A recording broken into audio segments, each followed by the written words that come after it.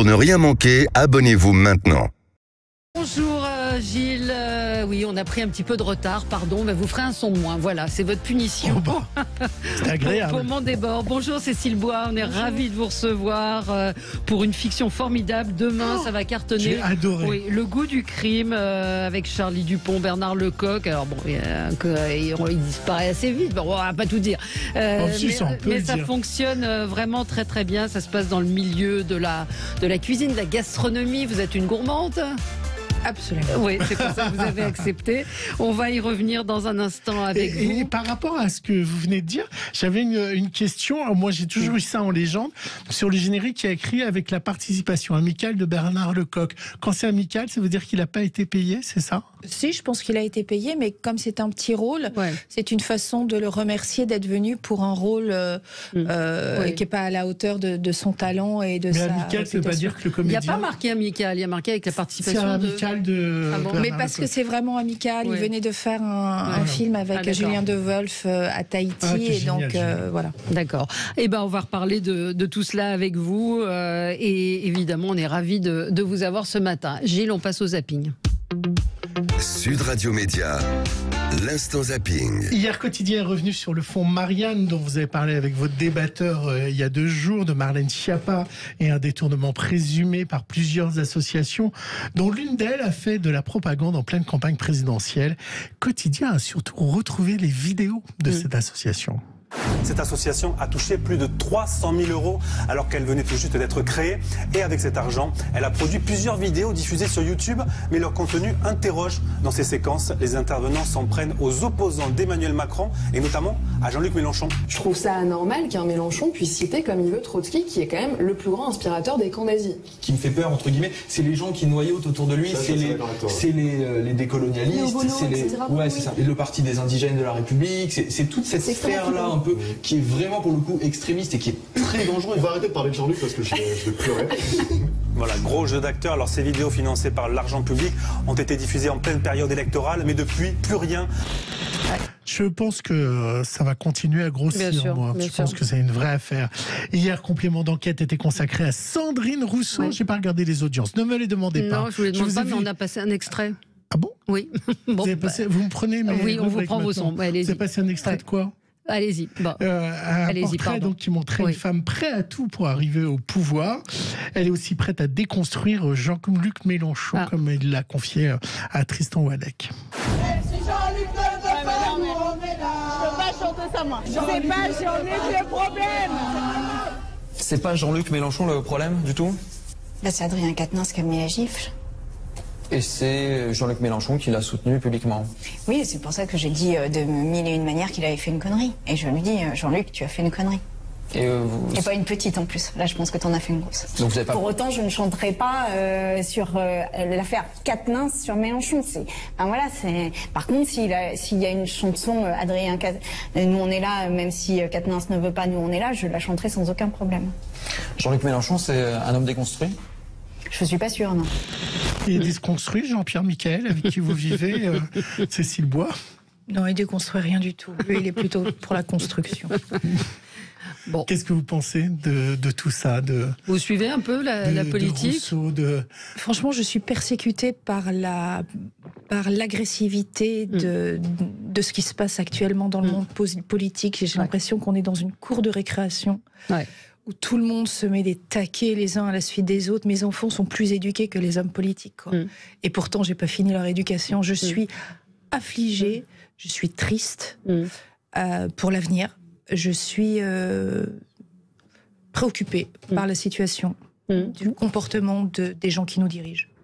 Vous, rega- vous Ils sont regardez les infos pour vous Ah non Non, je ne trouve personne à la hauteur mm. De, de leur poste, de leur, euh, de leur, euh, de leur étiquette, Mm.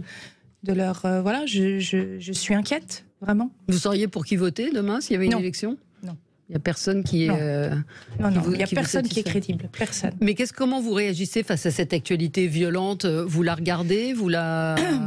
Je- J'ai j'ai pas d'autre choix Ouais. que, de, que de tomber dessus, puisque Mm. tout le monde en parle. hein. donc euh, il y a aussi ça, c'est que on fait un écho de cette bêtise Mm. qui fait que tout à coup, euh, on l'entend beaucoup plus que ce qu'on devrait. Euh, moi, j'arrive à saturation, donc j'éteins, je regarde plus les informations, je ne, je n'autorise plus mes enfants à, la à les regarder non plus. Ils ont quel âge vos enfants?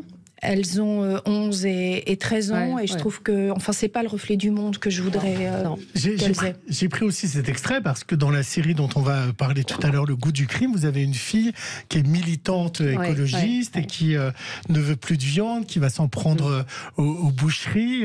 et donc, c'était par rapport, par rapport à ça. Vous, vous, consommez de la viande? Je suis parce que maintenant il faut ranger les gens dans les tiroirs. Euh, donc j'ai cherché dans quel tiroir je pouvais être rangée. Je suis flexitarienne. C'est-à-dire que je mange de la viande à l'occasion en faisant attention de la provenance euh, mm. du produit. Et vous sentez que vos enfants sont conscients aujourd'hui de l'environnement, ah, ma petite de l'écologie veut être végétarienne. D'accord. Euh, ah voilà. Oui, oui, oui. Elle, alors elle me dit je suis polytophobe, donc je vais devenir végétarienne. Cela dit, elle quoi, polytophobe Elle l'a inventé. Ah, elle n'aime pas le poulet. Ah, d'accord. Pouletophobe, d'accord. Pouletophobe. D'accord, très bien. Euh, donc elle a, elle a, elle a une conscience enfantine euh, de ce qu'est. Euh, voilà. Maintenant, je crois que plus que d'autres sujets, c'est important de les, de les, de les plonger aujourd'hui dans les dangers de, du climat et de la surconsommation. C'est ce que je fais doucement, sans, mmh. sans les persécuter, sans leur donner d'ordre, elles feront leur jugement plus tard, mais il y a une conscience quand même à la maison de tout ça. Voilà pourquoi il y avait un son Sandrine Rousseau, madame. Il est loin d'être... Oh là là, vous n'allez pas aimer mon prochain son, Valérie, je vous connais pas. Il est loin d'être déconstruit. Frédéric Becbédé, qui a sorti un nouveau livre dans lequel indirectement il absout les actes de PPDA ou de, ou de Masnef. Anne-Elisabeth Lemoine l'a interrogé là-dessus. Sa réponse va sûrement vous choquer. Que répondez-vous quand on vous reproche d'avoir fréquenté un grand nombre de prédateurs sexuels, d'avoir accordé un prix Renaudot à Gabriel Masneff ou encore d'avoir explosé de rire lorsqu'une novelliste dont vous étiez euh, l'éditeur vous a confié avoir été agressée sexuellement par un présentateur de JT Je réponds que cette dernière histoire date d'il y a 20 ans, que le prix Renaudot c'était il y a 10 ans et que si vous voulez déconstruire quelqu'un, ne le renvoyez pas sans cesse à des blagues d'il y a 20 ans ou, ou, ou, des, ou des choix euh, littéraires euh, contestables d'il y a dix ans. Euh, l'idée, c'est que les gens doivent pouvoir évoluer, ils doivent pouvoir changer. Donc ne les ramenez pas sans cesse à leur euh, bêtise passée. Choix Eh oui, des blagues d'il y a 20 ans, une bêtise, le viol. Mm. Mm. Bah. Que voulez-vous dire? Next. Next. On lui doit la mini-jupe Marie Kant, eh oui, brillante et inventive, styliste britannique, est décédée hier. Alors on ne sait pas, 93, 95, 96 ans, parce qu'elle faisait un mystère euh, de son, âge. C'était un secret. Et du coup, en musique, Valérie Expert? Bah Laurent Voulzy qui avait fait une chanson sur Marie. Ah, ça Marie Kant.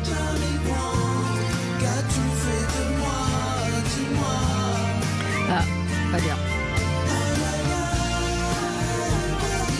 Je connaissais pas, vous la connaissiez? Oui, je la connais, mais j'aime ah. bien. moi aussi j'aime bien vous le dire, mais j'ai pas. Eh ben parce que euh, les filles étaient en mini-jupe, ils ne savaient plus où de regarder euh, oh les filles, et du coup euh, il a fait une chanson en disant mais qu'est-ce que tu as fait de moi avec la mini-jupe? Allez, on se retrouve dans un instant avec Cécile Bois pour parler de cette fiction, Le goût du crime, qui est top, qui est vraiment top, absolument. À tout de suite. Sud Radio Média. L'invité du jour. L'invité du jour, c'est Cécile Bois. Bonjour. Voilà, et ce n'est pas Candice Renoir ah euh, qui euh, nous recevons aujourd'hui. C'est un autre personnage, Laure Grenadier, qui est euh, critique gastronomique, influenceuse. ouais, c'est très, c'est très bien filmé. c'est tout le début. C'est très moderne dans la manière de, de, vous filmer, de montrer. Chloé Micou, qui est, la, qui est la réalisatrice. La réalisatrice, Chloé, Chloé Micoulou, et donc Micou, pardon.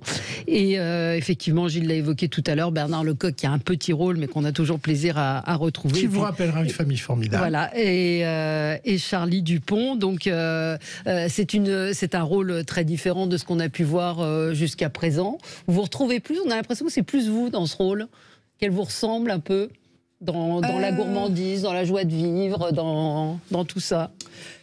Ouais, je ne sais pas si j'aurais fait les mêmes choix qu'elle. Euh, moi, quand, quand, quand, Julien De Wolf, puisque c'est Julien De Wolf qui est venu vers moi, euh, qui me l'a proposé, je voyais trop de similitudes avec Candice. Ouais. Et donc je disais, si tu si tu veux produire un téléfilm comme celui-là, il faut pas venir me chercher moi. Euh, et il m'a dit, mais en quoi Moi, je vois pas. Et c'est normal, parce mm. qu'il ne le joue pas. Donc, je lui ai énoncé tout ce qui me faisait trop penser à Candice. Il a dit, OK, tu me donnes trois semaines, je change tout et je reviens. J'ai dit, OK. Et trois semaines après, il avait changé des choses. Et puis, je trouvais intéressant, en plus, dans le personnage, d'être d'être quelqu'un qui ne voulait pas enquêter. Voilà, je trouvais que, le, postulat était intéressant et, petit à petit, à force de discussion avec Julien, j'ai commencé à être gourmandée euh, par le personnage, sans me dire pour autant, euh, tiens, c'est sympa, je vais jouer ce que je suis. mais, mais, mais vous enquêtez un petit peu, vous êtes indique. Euh, oui, oui, bah, c'est ce qui vous fait le. collaborer avec la police. Je vais être contrainte de collaborer avec, euh, avec mon ex-mari que je peux pas piffer, mais il se trouve qu'il y a quand même un argument de, de poids pour me pousser à enquêter c'est que toutes les personnes qui se font assassiner sont des amis à moi, puisque ce sont des gens de, bah, de l'univers culinaire. Oui, Et oui, ils dirigent des, des, restaurants. Vous, vous êtes critique euh, gastronomique, vous êtes une ancienne, sans révéler pourquoi, mais vous êtes une ancienne chef, vous savez euh, cuisiné. Alors, la question qu'on se pose, c'est est-ce que vous avez profité des, bouchons lyonnais? Est-ce que ce qu'on voit faire à, Lyon, c'est magnifique. C'est magnifique. On vous voit faire euh, les marchés. Est-ce que dans la vie, vous cuisinez, vous faites les marchés? Je fais les marchés, absolument. J'aime beaucoup d'ailleurs les marchés, que ce soit en Provence ou, ou, euh, à côté de Paris. Euh, parce que j'ai découvert avec le temps qu'en fait une bonne cuisine, une bonne assiette, c'est beaucoup des bons produits, mm. euh, plus que la recette elle-même. Donc euh, j'ai tendance à faire une cuisine assez simple, mais je privilégie les bons produits. Alors c'est quoi le, plat de, votre, plat, fétiche euh, J'ai réinventé les légumes farcis. Ah, C'est-à-dire? Bah, C'est-à-dire que je ne les fais pas euh, dans la méthode traditionnelle où on met euh, de la chair à saucisse euh, ou du veau dedans, puisque je ne mange pas de bébé. Mm. Donc, donc je, je, fais un mélange, je prépare des légumes à part, les légumes des, mm. des, légumes farcis, je les prépare à part et je les mélange après à du pain de mie trempé dans du lait. Enfin, je ne vais pas donner tous les secrets, voilà, des épices. Qu'est-ce qu'il n'y aura jamais dans votre frigidaire? Des abats et des bébés. Des abats et des bébés. Des bébés pas des bébés congelés. c'est ça Pas des bébés congelés. Le veau, l'agneau, euh, euh, voilà, tout, tout ce qui. Tout ce qui est. Euh, d'accord. Et, et qu'est-ce qu'il y a toujours dans votre frigidaire? Des œufs. J'adore les œufs. Ouais. Il y aura toujours des œufs, il y aura toujours. Ah, c'est des bébés les œufs Non, non, je vous provoque. L'été. Les... Ça y est, ça vous fait réfléchir. Non, non, non, non, non, non. Vous avez failli dire. Non, je me suis renseignée. Ouais, ouais. Euh, il y aura toujours l'été des aubergines parce que je suis une fan d'aubergines. Ah, j'adore aussi. Voilà. Je trouve que c'est un légume extrêmement riche. Et puis j'aime bien la courgette parce qu'elle est très fade, mais elle est merveilleuse pour être, euh, pour être cuisinée justement. Et accommodée. Euh, la, fiction, il faut le dire, est une fiction policière. Euh, il y a des meurtres et puis c'est extrêmement bien ficelé. C'est drôle, il y a plein de séquences drôles. Il y a plein de séquences drôles, c'est un dénouement auquel on ne s'attend pas. Alors c'est adapté de Petits meurtres à l'étouffée de Noël Baleine et Vanessa Barrault. C'est un roman qui était paru aux éditions Fayard. Scénario, il faut les citer, Isabelle Paulin et Frédéric Lozet. Et j'avoue qu'on se fait prendre complètement. On, est, on, est, on, navigue entre le, le, feel good, au bon sens du terme. Il y a quelque chose d'assez plaisant à vous suivre, à vous voir, euh, à voir les engueulades avec votre ex-mari. Et puis, euh, bah, le thriller, quoi, le, cette, cette intrigue où on essaye de comprendre qui a pu tuer. Mais dans un polar, de toute façon, il faut toujours un équilibre pour pouvoir euh, enrichir un peu l'humain et le relationnel pour que les, les gens s'attachent au personnage. Là, c'est le cas avec Charlie Dupont qui, qui est, toujours euh, voilà qui est toujours très à l'aise dans, dans le dans la fulgurance, dans le dans l'humour, dans le il est très pétillant, il est très réactif, il est très vif. Euh, et puis Antoine aussi qui joue euh, qui joue son son acolyte qui est d'une fraîcheur euh, désarmante. Et c'est toujours important d'avoir des personnages forts à côté d'une enquête policière, sinon il reste que l'enquête policière. On en voit tellement que c'est bien d'arriver à exister aussi en dehors de l'enquête. Alors c'est une programmation un peu spéciale hein, parce que c'est demain à 21h05, un samedi soir. C'est très sur rare. France 2. Sur France 2. C'est très rare qu'il y ait des téléfilms. C'est une case plutôt réservée euh, au divertissement. Vous êtes face à, The Voice. Ça vous fait peur ou pas? Ah, J'essaie vraiment de, de, ne pas être esclave des, des chiffres. Audiences. Ouais, vous les attendez quand même, quand même. Ah, je, les, je les regarde, ah, bah je oui. les attends, mais je, je, je, je, ne veux pas me conditionner à, à ça. Je, je pense Mm. que les chiffres, c'est pas quelque chose qui doit m'appartenir. Mm. Moi, j'ai fait mon travail. Évidemment que j'espère qu'ils vont être bons. Évidemment que j'espère qu'il y a le plus Mm. de monde possible qui va le regarder. Mais c'est vrai qu'aujourd'hui, si on continue de travailler, Mm. on continue de travailler surtout parce qu'on fait des bonnes audiences et pas forcément parce qu'on fait du bon travail, quoi. Ouais. Et ça, je- C'est- ouais. je- voilà, c'est quelque chose qui est compliqué pour moi. Vos filles, Euh, vous, vos filles vous regardent ou ils préfèrent regarder. The Voice? Non, euh, non, euh, non, ni l'un ni l'autre. On va se regarder une petite série. Ah bon, vous euh, avez vous pas avez pas regardé Si, si, parce que moi, je l'ai eu avant. Ah. donc, euh, voilà. on se, Vous- les- on vous se l'avez les fait entre Vous l'avez nous, vu, euh, ouais. Et donc vos filles vous regardent? Euh, Pas forcément. Elles s'en foutent un peu, en fait. D'accord. Ouais, ouais. Ça, ça remet les choses en place. Et hein. qu'est-ce qu'il y a sur France 3 alors? Sur France 3, il y a un documentaire sur le disco. Ça va se planter. Ah d'accord. Oui, donc, je pense que vous allez oui, arriver en tête. oui, et oui, entre The effectivement. Voice. Surtout que Euh, c'est fini les, de- les, les, les auditions à l'aveugle. On Ouais, passe au ça- battle. donc vous allez Vous étiez cartonner. au courant, évidemment. Euh, Garde-t-on des traces On des anciens fiche. rôles dans les nouveaux? Non, je lis les, nos auditeurs dans les, dans les nouveaux et comment est-ce qu'on exorcise les rôles similaires Vous avez à peu près euh, répondu, mais c'est vrai quand on a incarné Candice Renoir. euh, Elle est ressortie pas- pendant le tournage, Candice. Ouais. euh, et régulièrement, je disais à Chloé, Chloé, pardon, on va refaire la prise parce que c'est trop Ouais. condicien. Euh, Ah ouais. Mais c'est c'est vraiment sur ce rôle-là et sur ce film-là. C'est pas nécessairement le cas sur d'autres. Mais de temps en temps, euh, d'avoir interprété 10 ans Candice. Bah, c'est ça. Parfois, elle a tendance à ressortir dans on ne sait pas où, euh, sur, une, sur une séquence, une intention. En plus, elle a une voix très particulière. Candice. Bien sûr. Euh, et une façon de parler, une intonation. Et, ça, vous le ressentez quand vous jouez, vous dites Oui. non, là, c'est Oui, là, tout c'est à coup, Candice. ouais, ouais, ouais. Et c'est fini, fini, Candice. Non, pas du tout. Non, il y a un, Ah bon, un On a ça arrêté euh, la série, mais on, Ouais. on- on va, on lance une, une collection de- d'unitaires. euh, il y en aura un, deux, trois par an, euh, qui feront la, la suite logique d'ailleurs de la série, hein, qui Mm. seront à la fois isolés et en même temps euh, qui Oui, sera toujours unitaires. euh, riche des- de certains Et partenaires. à quand, à quand le cinéma? Ça veut dire que quand on est incarné comme ça, quand on incarne comme ça à la télévision, le cinéma vous regarde pas? C'est un débat tellement Ouais. vieux, Ouais. Tellement. Mais moi, je tellement parle de vous, parle. ouais, moi. Est-ce que, est que vous, vous tentez d'aller vers euh, des réalisateurs de cinéma? Est-ce que votre agent essaie Le- de vous mettre sur des films? Oui, oui, Moi, c'est ça qui m'intéresse, c'est pas est-ce qu'on peut euh, Mais j'ai- en, en vrai, j'ai envie de vous dire, ce sont eux qui décident, c'est pas moi. Ouais. Et, euh, Et ils veulent et- pas de vous. Et il y a toujours un. Bah, je sais rien, je leur parle Mmh. pas, et Mmh. on se rencontre pas, ou peu.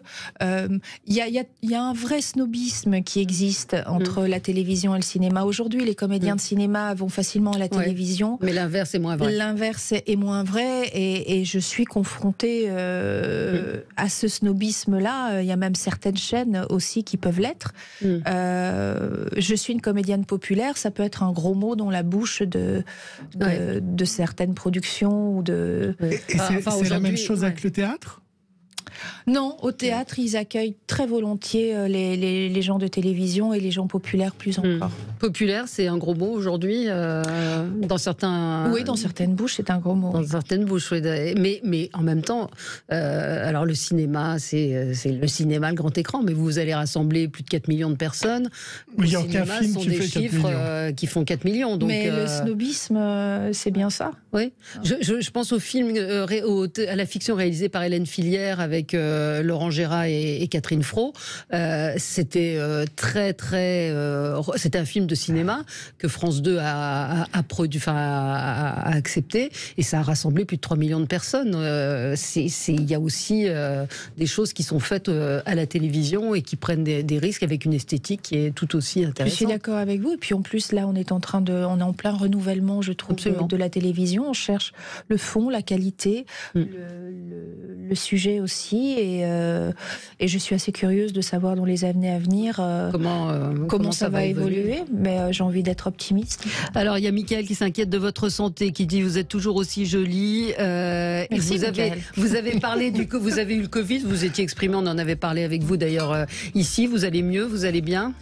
Je vais bien. euh, j'ai eu euh, depuis 2020, j'ai eu deux autres fois le, le Covid. Ça s'est Oh là là, transformé en vilain rhume ou en petite grippette. Mm.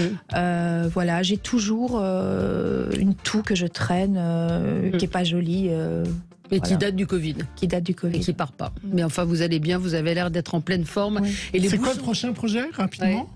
Là, il va sortir Les Gouttes de Dieu. Ah. C'est un ovni. Ah. Extraordinaire. Sur quelle chaîne? Alors d'abord Apple TV, mais c'est euh, France 2 International. Ah, c'est sur Apple TV. Ouais, Apple TV. Et euh, c'est c'est issu d'un manga qui Ah. s'appelle. euh, Donc là, ça va être très très différent. Ça va être très différent. Mon rôle est pas grand, mais je suis tellement tombée amoureuse des huit scénarios que j'ai lus d'af- d'entrée que je pense que, enfin, j'ai vu les deux premiers épisodes à la projection, c'est magistral. Bon, bah vous reviendrez, vous reviendrez nous en parler. Et puis Apple TV qui va devenir gratuit pour les abonnés de Canal+. Absolument. Euh, C'est une information importante. Voilà. Alors ne manquez pas demain soir euh, sur France Ah 2 oui, il faut regarder, ça, le goût du crime à 21h. Lundi, on parlera de l'audience. Oui, Moi, on parlera de l'audience. Moi aussi. Merci beaucoup, Cécile Bois, d'être venue une nouvelle fois sur euh, Sud Radio et on se retrouve euh, de- Bah, euh, bah, lundi, lundi avec Paul lundi. On et tout de suite, des c'est violences policières. c'est Jean-Jacques Bourdin.